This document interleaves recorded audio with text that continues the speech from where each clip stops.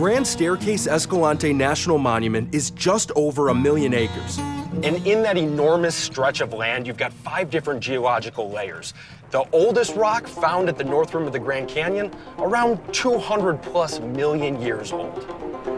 As the name suggests, the layers step up in elevation and get increasingly younger as they move north. At the top of the staircase in Bryce Canyon, the rock formations date back 50 million years.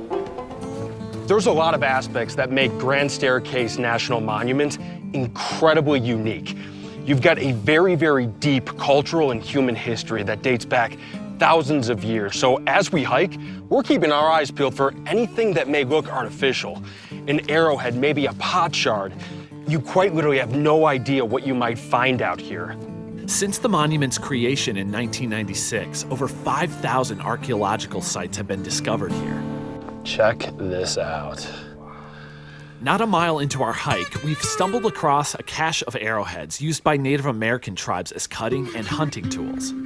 There's five different Native American tribes who have incredibly strong cultural ties to this region, dating back thousands and thousands of years ago, and those ties are still incredibly strong today. We always want to leave no trace. We're not going to collect any of this stuff, so what I'm going to do is just put it right back where I found it, and we'll be on our way. This national monument was designated in 1996. In 2017, a presidential proclamation decreased the size of a grand staircase by a million acres, or nearly 50%, reducing federal protections for archaeological sites.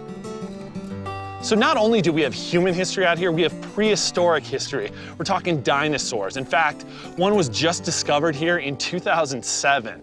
75 million years ago, this was a lush tropical rainforest and considered a mecca for dinosaurs.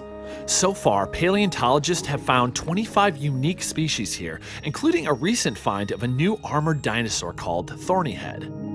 And they've only surveyed 6% of this land.